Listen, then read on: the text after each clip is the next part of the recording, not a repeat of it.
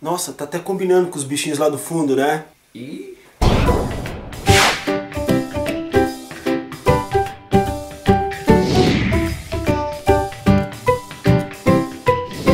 Namastê, bicho, você tá bem? Você tá legal? Eu quero saber. E olha, eu não sou fã dos bichinhos da Parmalat, não. Eu só tô usando esse pijama porque tá um frio do cacete aqui em Sydney. E esse aqui é o pijama mais quente que eu tenho, tá?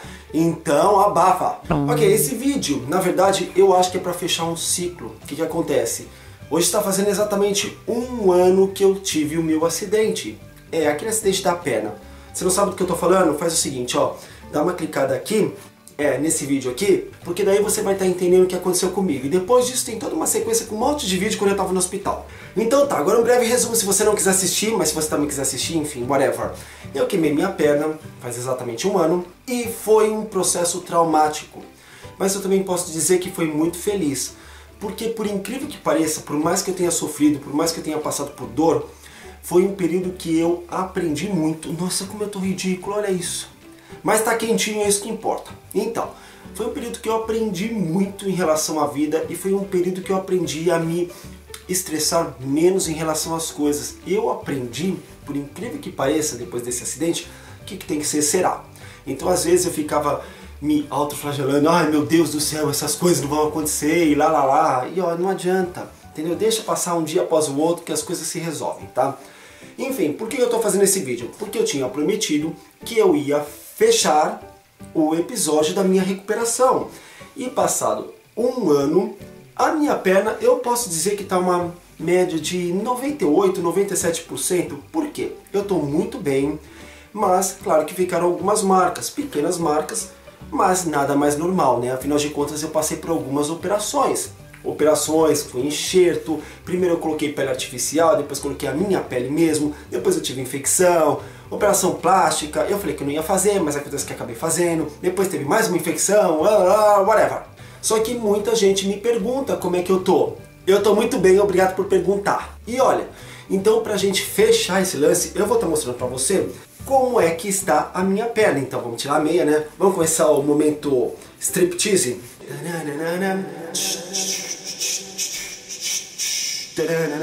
Para Emerson, para!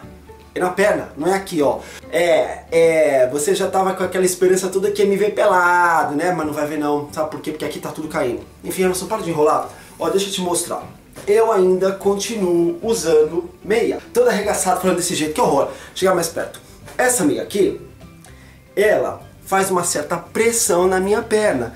Então, dá uma sensação de conforto muito gostosa.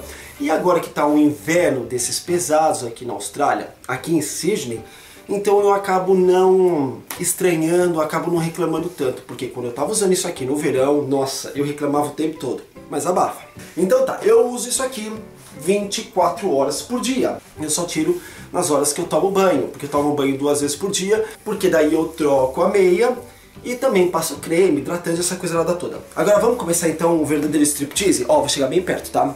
Ó,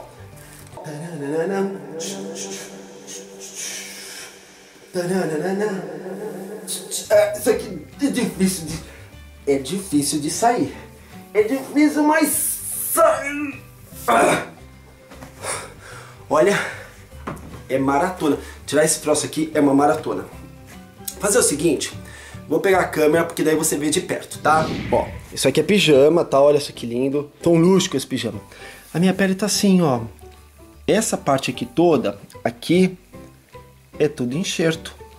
E tá perfeito, né? Quando eu falo que ainda ficaram algumas cicatrizes, algumas coisas pequenas, é isso aqui, ó. Você pode ver que ainda tem algumas manchas, algumas coisas. A pele aqui não ficou tão perfeita ainda, não ficou 100%, mas isso é um processo natural que demora alguns anos até ficar completamente normal. E aqui, ó, tá vendo? Ficou uma certa mancha.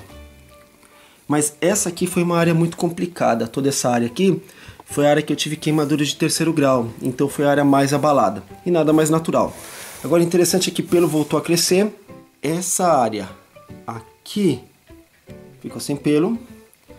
E aqui ficou sem pelo. Ficou com um pelinho de pelo aqui no meio. Mas como tudo mistura, acaba ficando bem, né? Então esse aqui é o resultado na minha perna hoje. Se eu colocar a perna que não teve o acidente do lado da perna que teve o acidente, você pode ver que ficou quase 100%. Eu só acho que aqui na câmera é engraçado, fica mais rosado, mas quando você olha o olho não fica tão rosado. E a pele tá toda amassada assim por causa da meia, tá? Então é isso. Ó, já passei calor, mas deixa eu fazer isso aqui de novo, porque daí eu já não passo tanto, tanto frio. Fiquei com calor porque tirar essa meia, colocar essa meia, não é um processo fácil. Mas enfim, é isso. Claro que pode acontecer ainda alguma coisa, pode acontecer um processo de infecção, pode. É remota a possibilidade, mas pode acontecer. Aconteceu, só que eu aprendi a lidar com isso e a não me estressar mais com essa situação. E com o passar do tempo, a tendência é cada vez mais diminuir qualquer possibilidade de infecção, seja lá o que for. Eu ainda continuo vendo a minha terapeuta ocupacional, porque é ela que vê como é que está o crescimento da pele, se a pele está tudo certa, se eu preciso continuar com essa meia, com essa aqui, ó, ou não. Por enquanto eu continuo, mas eu tenho certeza que muito em breve eu vou estar tá diminuindo a quantidade de horas que eu tenho que usar isso aqui. Gente, eu tô ofegante, olha que eu tô fazendo exercício, hein? Mas é que tirar isso aqui não é fácil mesmo. Então é isso. Eu encerro por aqui essa minha série do meu processo de recuperação, porque eu já estou recuperado. Às vezes psicologicamente fico um pouco abalado, mas é normal. E uma coisa muito interessante que aconteceu, você vê como o nosso psicológico é forte.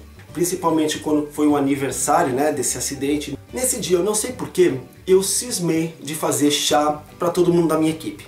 Tava frio e agora eu tô obrigando todo mundo a tomar chá verde. E não é que na hora que eu fui colocar a água no chá, eu coloquei água gelada. É, tudo bem que chá gelado é uma delícia, mas as pessoas ficaram com cara de ué, porque eu também fiz café e eu fiz café com água gelada. É, as pessoas não acreditaram. E eu juro por tudo que é mais sagrado que eu não fiz isso intencionalmente simplesmente aconteceu. Eu não sei porquê, o meu cérebro simplesmente viu aquilo lá como água quente e processou e foi assim mesmo.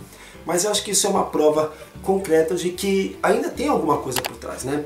Mas querendo ou não, eu estou muito bem, obrigado e vou ficar cada vez melhor e pronto para outra. Não pronto para outros acidentes, mas pronto para a vida, pronto para desfrutar coisas boas, pronto para viver tá bom? Então é isso, eu espero que você tenha gostado, muito obrigado pela sua audiência e a gente se vê num próximo vídeo.